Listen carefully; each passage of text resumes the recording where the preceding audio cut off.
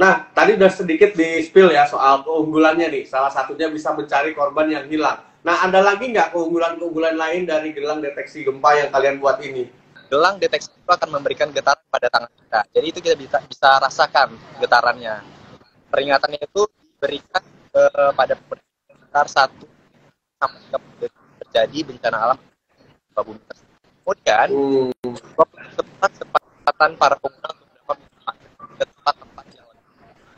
Selain daripada itu, fitur kami juga uh, korban yang terinjak reruntuhan.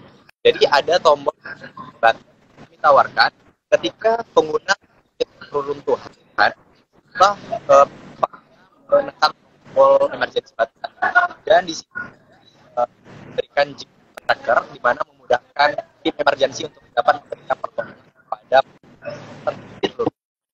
Oh, jadi dalam waktu satu menit itu akan ter- akan ada eh, ini ya, akan ada peringatannya. Kemudian eh, bisa juga fitur-fiturnya untuk mencari korban yang eh, hilang tertimbun dalam reruntuhan gitu misalnya ya, Fikri ya. Ya betul sekali mas.